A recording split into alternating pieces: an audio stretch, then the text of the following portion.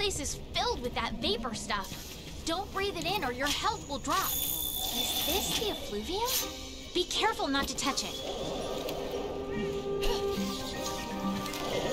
That's a thorn pod, a powerful type of slinger ammo.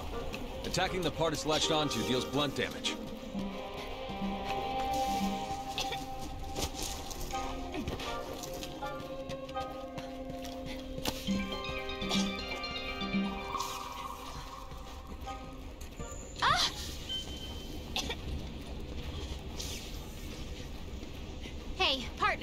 How about we head back to the research base and take a break?